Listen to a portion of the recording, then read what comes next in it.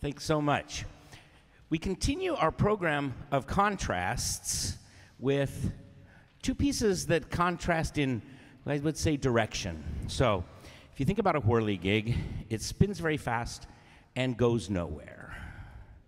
Now, this piece, I do want to mention, is arranged by a very good friend of mine from San Francisco, Kevin Tam, and is by Dana Suesse, who, at another time when this was more appropriate than it would be now, was known as the Girl Gershwin.